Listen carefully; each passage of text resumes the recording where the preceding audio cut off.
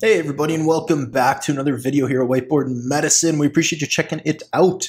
This is another video in our vasopressors and inotrope series. We're going to be talking about one of our darling favorite both vasopressors and inotropes, right? If you're not familiar with that, maybe this is a curveball, known as epinephrine. Um, in this video, we're going to talk about what epinephrine is, its mechanism of action and the receptors it works on, dosing, administration, uses, pharmacokinetics, uh, clinical uses, some evidence and guidelines on it, side effects, complications. We'll compare it to norepinephrine, some clinical tips and tricks and all that good stuff, so definitely stick around. For those of you new to the channel, just know that all of these study guides, uh, such as this videos, uh, will be uploaded to our Patreon page as well as practice questions. Definitely check that out if you're interested. We also have a weekly newsletter focusing mostly on public health and infectious disease. And then we have both a podcasting platform and a YouTube channel. So we would love for you to subscribe, check other things out. All of them will be in the episode description. Uh, let us know what you think. Hop along. Uh, last disclaimer, none of this intended to be acted upon as medical advice. Please stick around to the end of this episode for uh, the full disclaimer in its entirety. No further ado, epinephrine. What is epinephrine to start? Well, epinephrine is actually also known as adrenaline, depending on where you practice. It actually might primarily be called adrenaline. Um, and this is a potent endogenous catecholamine. And when we're talking about vasopressors, if you've checked out any of our other past vasopressor videos, you'll hear us talk a lot about catecholamine or catecholaminergic or adrenergic. All these are synonyms for vasopressors that work on catecholamine receptors. Things like norepinephrine, epinephrine, phenylephrine. This is in comparison to non catecholamine based or non adrenergic vasopressors, things like vasopressin, angiotensin 2, methylene blue, hydroxycobalamin. Again, all different vasopressors we're talking about in this vasopressor series. Um, but there's kind of two different categories. So epinephrine is a catecholamine uh, vasopressor, a catecholinergic or adrenergic vasopressor. It acts on catecholamine receptors. Particularly two that we talk most about with vasopressors being the alpha and beta adrenergic receptors, which we're going to talk more about. Uh, epinephrine is widely used in shock states, cardiac arrest, and anaphylaxis. Uh, it plays a significant role in the management of refractory hypotension in the ICU, and it's definitely one we need to know about. What is interesting about epinephrine, uh, especially compared to norepinephrine, its sister vasopressor, is that epinephrine actually has mixed inotropic and vasopressor properties. Inotropic meaning increasing cardiac output, so affecting the heart more, and vasopressor, which means increasing the mean arterial blood pressure or affecting the blood pressure more. So it has this mixed effect, which we're going to talk more about. And that mixed effect comes from its mechanism of action.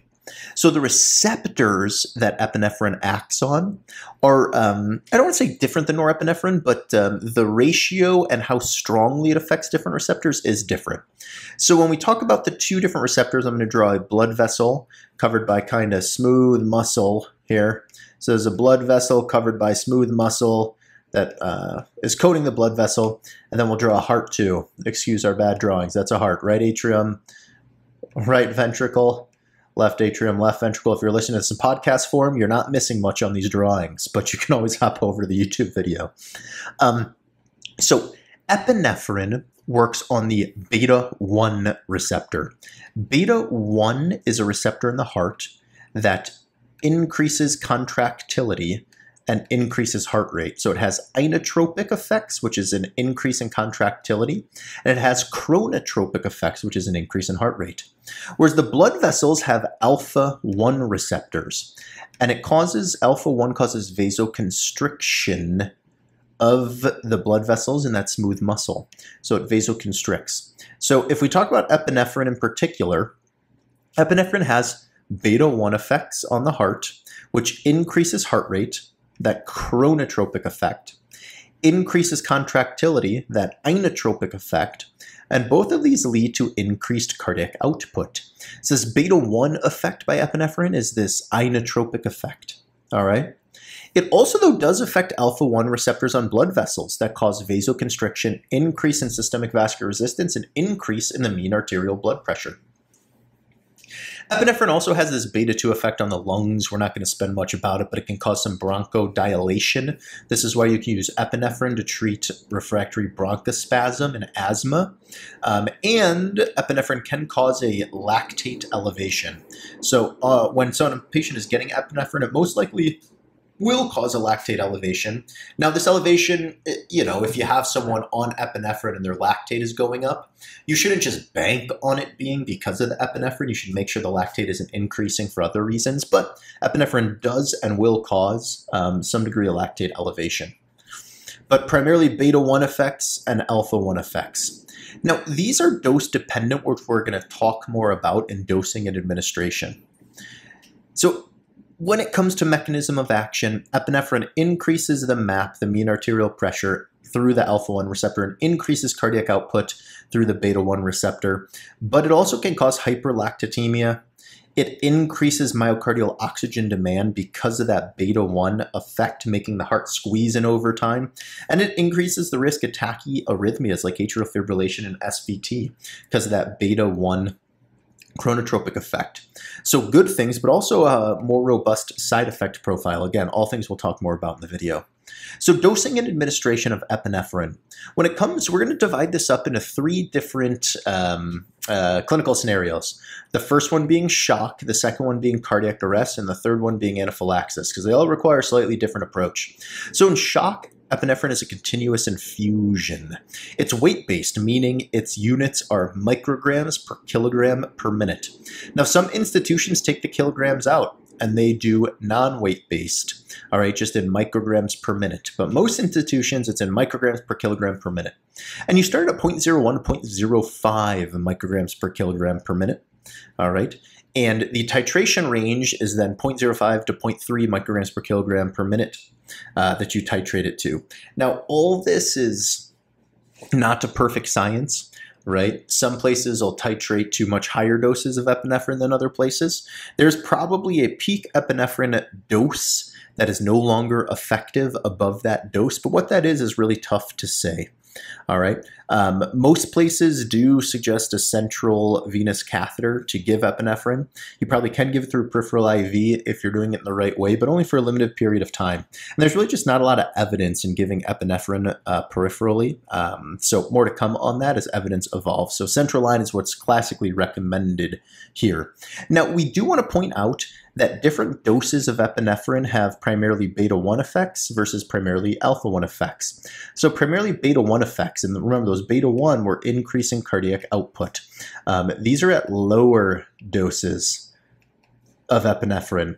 And those lower doses really are somewhere on the specter of that initial starting dose, you know, that kind of 0.01 to 0.05 micrograms per kilogram per minute um, primarily have that um, beta 1 effect. So if you're starting epinephrine just for something like bradycardia, you're really going to just set it at one of these lower doses, 0.01 to 0.05 micrograms per kilogram per minute. You don't want to titrate it up because the beta 1 effect then turns more into an alpha 1 effect. Right, and that alpha 1 effect was vasoconstriction. It would just increase the mean arterial pressure. And this is, quote unquote, higher doses, which is really doses just above that initial starting dose. All right, and we'll talk more about this later on in the video too. So for shock, continuous infusion, 0.01, 0.05 micrograms per kilogram per minute. Um, best done in a central line, although there's some argument there. Cardiac arrest, you usually are giving one milligram IV push every three to five minutes per ACLS, Advanced Cardiac Life Support protocols.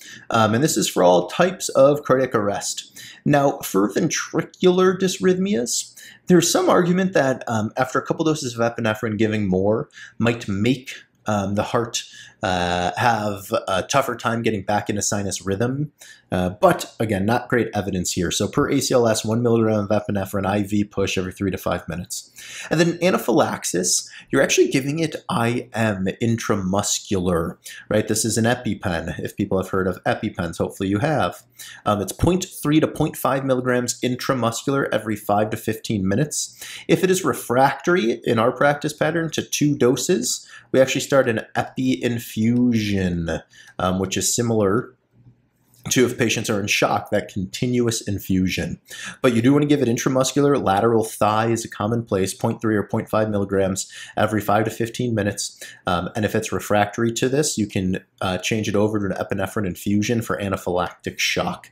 Uh, and again, our practice pattern tends to be two intramuscular doses. And if it's still not effective, then we put them on an epinephrine infusion for anaphylactic shock.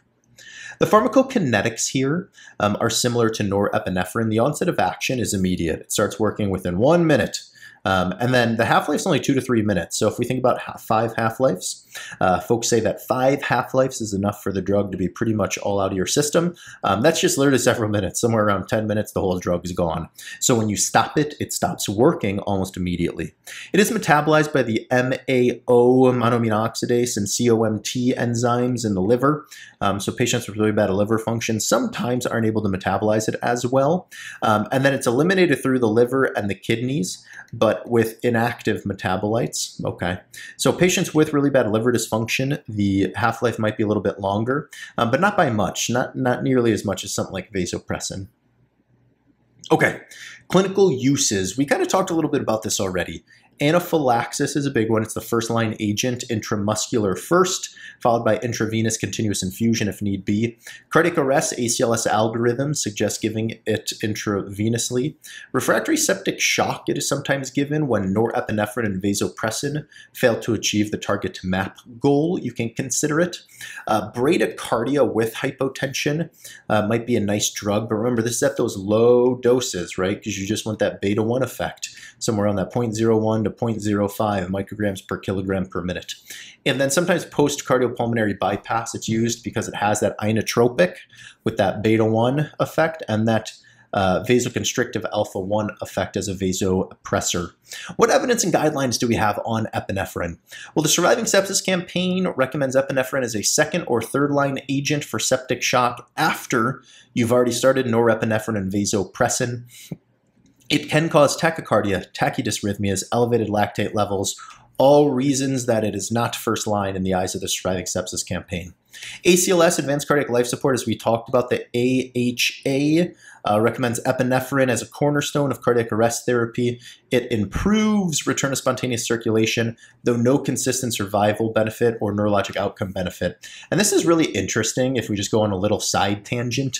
In cardiac arrest, epinephrine is like a cornerstone, right? Anybody who's even had a whiff of ACLS training or even basic life saving training um, has probably heard of epinephrine. But the data on epinephrine is really old school data. Originally was in like um, canine models and stuff, and there's not really good evidence to suggest that epinephrine uh, improves our survival or our neurologic outcomes in patients with cardiac arrest. There's actually an old study that looked at escalating doses of epinephrine, starting at one milligram and then increasing the dose with each subsequent administration in cardiac arrest, and they got the heart to restart more often, but the neurologic outcomes were way worse. And that's why we don't do it, right? There was no real benefit in long term survival or functionality. So, ACLS, you know, we still are suggesting that you follow ACLS as you should, but it is interesting to think about the evidence behind some of these things we do in cardiac arrest is really, really bad, really, really poor evidence. Um, and we certainly would benefit from um, more studies on this. It's just a really tough thing to study, right? Uh, comparative studies on epinephrine versus norepinephrine. It seems to have similar MAP effects, but epinephrine can cause more tachycardia, elevated lactate, and potentially some splanchnic ischemia, which is why norepinephrine is our first line drug as compared to epinephrine. Side effects and complications are similar to a lot of our catecholamine vasopressors. So we already talked about tachyarrhythmias because that beta 1 effect of epinephrine, you get more atrial fibrillation, more ventricular ectopy. It also can cause more myocardial ischemia because the beta 1 effect, you're asking that heart to squeeze harder and harder and harder. And while it's doing that, that heart is using more oxygen and it needs more blood flow. So if patients have coronary artery disease, it can increase oxygen demand and cause some degree of myocardial ischemia, like just from a global inability to get enough blood flow to the myocardial tissue. We talked about how it can cause lactic acidosis, whether that's clinically meaningful or not is tough to say, but the beta 2 receptor effect that it has. Uh, remember, we didn't focus much on it, but it has beta 2 effect, which can cause bronchodilation, which is why it is sometimes used in refractory bronchospasm and asthma. But that same beta 2 effect stimulates glycolysis, uh, glycolysis which um, can lead to elevated lactates. It causes vasoconstriction, so you get the same type of concern for ischemia in the digits or the gut, um, especially at higher doses. And then beta 2 can also cause hyperglycemia and hypokalemia.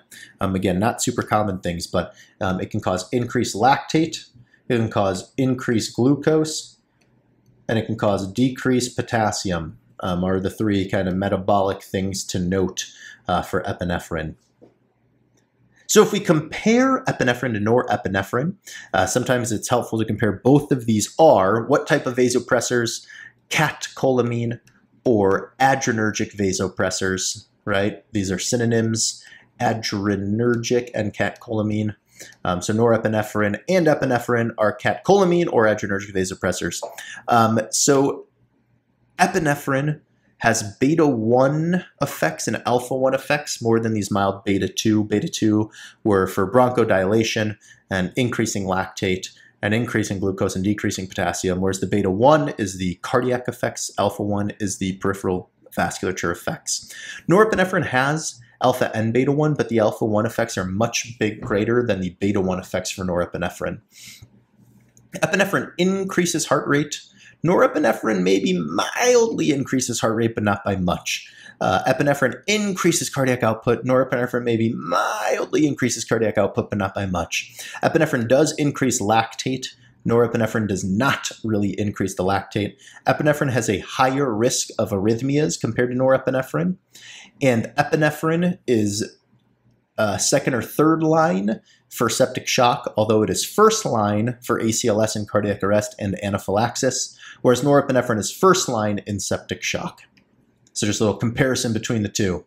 So if we were to summarize epinephrine, uh, epinephrine is a catecholamine vasopressor. Uh, it works on beta 1 receptors in the heart, alpha 1 receptors in the blood vessels, and beta 2 receptors in the lungs. Its typical use is first line in ACLS for cardiac arrest, first line in anaphylaxis, and then second or third line in refractory septic shock. The usual infusion dose for something like septic shock that you're starting at 0.01 uh, to 0.05 micrograms per kilogram per minute. In ACLS, the push dose is 1 milligram IV every 3 to 5 minutes. And in anaphylaxis, it is three. Uh, oh goodness, did we blank on the dose? You caught us. Um, the it is 0.3 to 0.5 milligrams intramuscular. Um, that you can give every 5 to 15 minutes. Common side effects are tachycardia, right, because it has those beta 1 adrenergic effects, increased lactate, arrhythmias. Um, other side effects that are not as common are increasing glucose, decreasing potassium, uh, ischemia of the digits or the mesenteria or splanchnic. And then the evidence, there's evidence in ACLS and anaphylaxis, there's mixed evidence in shock. And the evidence in ACLS, as we talked about, you do it, but the evidence is not that strong. All right, that is a summary of epinephrine, a part of our vasopressor series. Check out our other vasopressor videos um, or podcasts linked in the episode description. Uh, we love for you to check out our Patreon page, our free weekly newsletter, all that good stuff. Comment, hit the bell button, subscribe, join us. Uh, we appreciate y'all and Either way, stay well, keep learning. We'll see you next hey time. Hey everybody and welcome to Whiteboard Medicine. We appreciate you checking out the video. Here at Whiteboard Medicine, our goal is to create medical education content for all types of interested learners. That includes videos, practice questions, study resources, and much more. We would love for you to join our community by subscribing, hit that bell button. We're also working to build a high-yield Patreon page. It's going to be full of practice questions, video outlines, notes, commercial-free content, and much more.